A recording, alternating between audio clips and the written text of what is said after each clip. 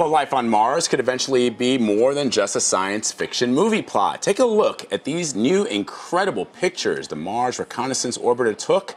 These images from about 200 miles above the red planet. You can see craters and even some icy dunes there. This comes as NASA prepares for its new mission, Mars 2020. CBS News got an exclusive look at the assembly room in NASA's Jet Propulsion Lab in Pasadena, California. It involves a future rover that will investigate Mars for human expeditions.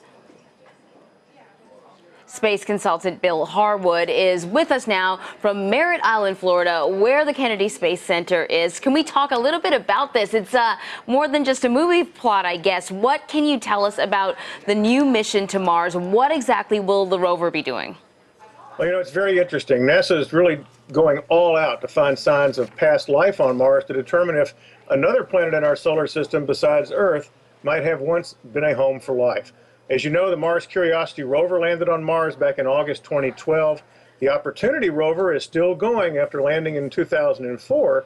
And this 2020 mission is simply going to push it even further. Uh, instead of just trying to find out if Mars was habitable in the distant past, which the Curiosity rover is now pretty much confirmed to everyone's satisfaction, the 2020 rover is going to actually look for signs of past life. They're going to collect soil and rock samples. They're going to package them up in they call a cache and leave it on the surface for possible retrieval someday and return to Earth. And, and to prepare the way for humans to Mars, they've actually got an experiment on board that'll try to extract oxygen uh, from the CO2 environment on Mars, from that carbon dioxide atmosphere on Mars. So it's really an ambitious mission. It really takes it to a whole new level uh, on this whole search to find out was Mars ever habitable? Uh, if so, what might have lived there, and what do we need to do to get humans there? You may have seen, our viewers may have seen uh, our Jan Crawford there looking at that rover. She got a close up look at it. Uh, Bill, how dangerous will this mission be? What kind of challenges are they facing? Well, you know, it's interesting. They're really copying the Curiosity rover in a lot of details. They're using spare parts from that mission. They're using the same technique to get the rover to the surface. If you remember from Curiosity, they use this technique called the sky crane, where a rocket system that we saw in the piece today will actually lower the rover down to the surface and let it go.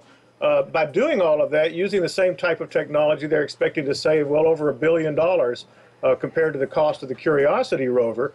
Um, so still a lot of challenges, lad, but I think the, the key point is they're trying to build on lessons learned so they're not reinventing the wheel this time. They've had tried and true technology and they think they can make that work again.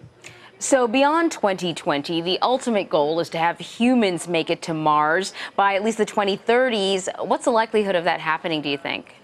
It's, it's way too early to even speculate. You know, if you, if you listen to NASA people today, almost every news release has a, has a mention of going to Mars. That is the long range goal. Uh, but that's many presidential administrations away, many Congresses away.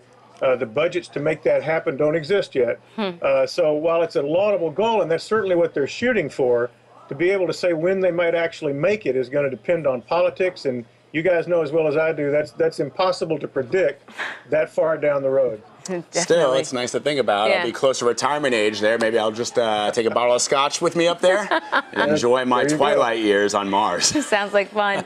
Bill Harwood for us uh, near the Kennedy Space Center in Merritt Island, Florida. Thanks a lot, Bill. Sure thing.